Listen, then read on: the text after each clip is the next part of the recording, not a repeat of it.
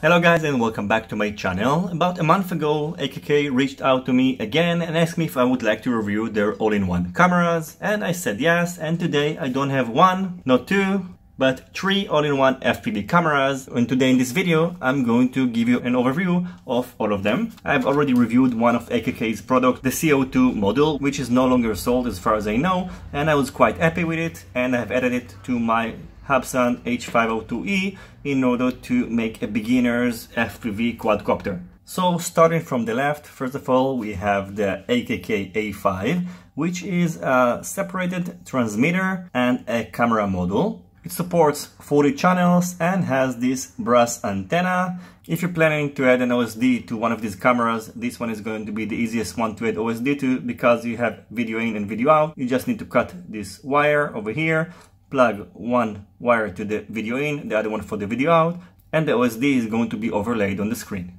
This camera, like all the other ones, is 600 TV line CMOS camera. In addition, all of these cameras are using the NTSC video system and the minimum illumination is 1 lux. The AKK A5 working voltage is between 3.3 volts to 5 volts, so let's power it up. Changing the channels of the AKK 5 is done by pressing this button. If you short press it for about a second, it's going to switch between the channels. And if you long press it, it's going to switch the band. So you can see the red LED is moving to the right. This is channel 1, now it's flashing twice, is channel 2 and so on. And over here in the instruction manual, you have the frequency and channel table, and then you can match your favorite band and channel. Coming next is the AKK S2. You can see this is the only camera that has a cloverleaf antenna, which is, in my opinion, maybe can give you a better signal, but in the end of the day, it's a more fragile antenna.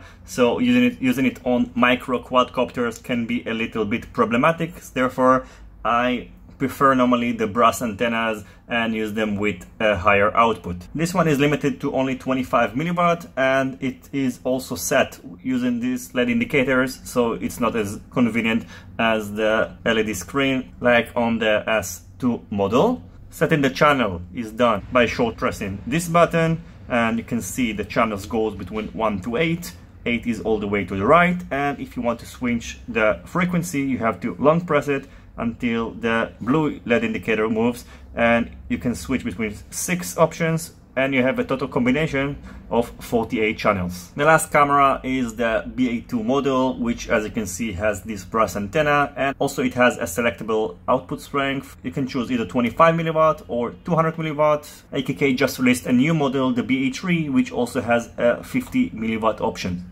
Changing the channel is simply done by pressing this button you can choose between 1 to 8 if you long press this button for 2 seconds you can choose your frequency you have 1 two, three, four, five options. So in total you have 40 channels and you can switch between 25 and 200 milliwatts by long pressing the button for about five seconds.